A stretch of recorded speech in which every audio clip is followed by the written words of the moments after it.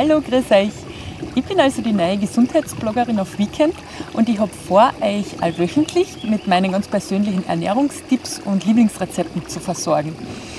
Und zwar mache ich am allerliebsten österreichische und vor allem Kärntner Traditionsgerichte, so ganz wie von der Oma, aber halt in meiner ganz speziellen Art.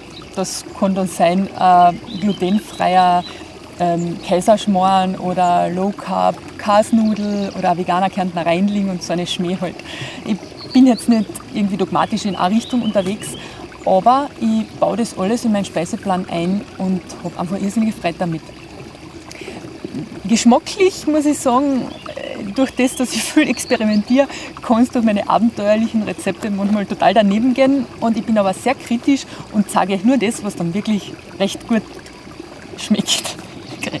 Nicht recht gut, ganz gut, ausgezeichnet schmeckt. Ja.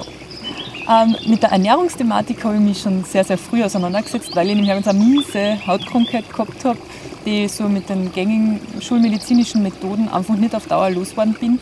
Und dann habe ich meine Fühler halt ausgestreckt in Richtung, was kann ich selber tun. Und so am Ernährungssektor bin ich dann fündig geworden. Ich habe natürlich viel ausprobiert und habe dann so meine Kniffe einfach gefunden, die mir gut getan haben und bin diese Krankheit Gott sei Dank dann echt losgeworden.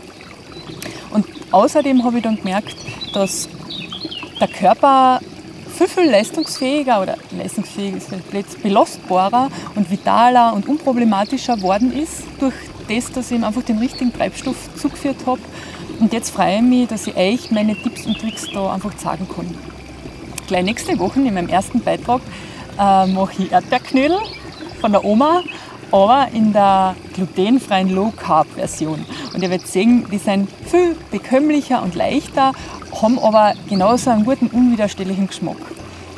Und wenn ihr bis dorthin mehr über mich und meine Rezepte wissen wollt, könnt ihr auf meinem Blog nachschauen. Und ich würde mich wirklich sehr freuen, wenn wir uns wiedersehen. Bis dorthin wünsche ich euch schöne Wochen. Für euch.